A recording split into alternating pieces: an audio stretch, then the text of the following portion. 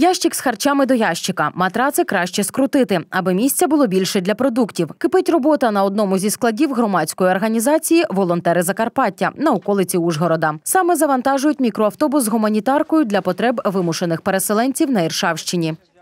допомагаємо вантажити на Збройні сили і для людей, які потребують, ну, ті, хто мав переселитися, які були обставини.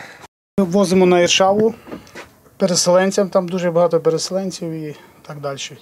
Нас попросили, щоб ми допомагали під час війни такої от переселенцям всім остальним. Безкоштовно все? Безкоштовно, без копійки, без нічого.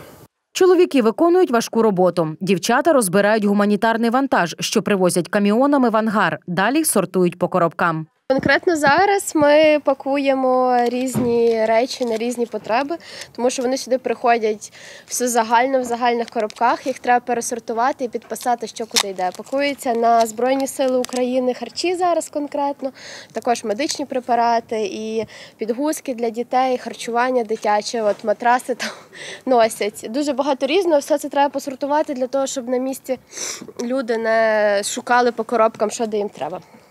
Робота злагоджена і організована, адже закарпатський волонтерський рух, про який вже ходять легенди, створений ще у 2014 році. А зараз через війну змушені активізуватися для допомоги потребуючим як переселенцям, так і на потреби нашої 128-ї бригади та інших угрупувань збройних сил України.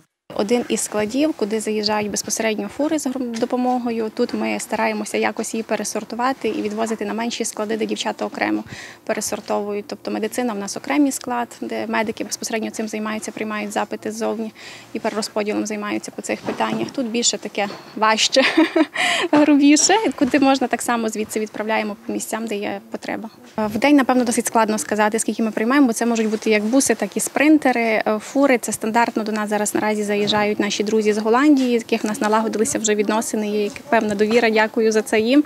Е, Вони кожного тижня нам доставляють фури по, по списку, по нашим якимось вимогам і проханням. З початку війни охочих допомогти було більше, зауважила пані Анна. А зараз трохи менше. Люди втомились, адже це не класичне волонтерство на кілька годин, як то кажуть, для душі, аби не вигорати. Тут треба фізично працювати цілий день, а деколи й 24 на 7. Не всі витримують такий режим.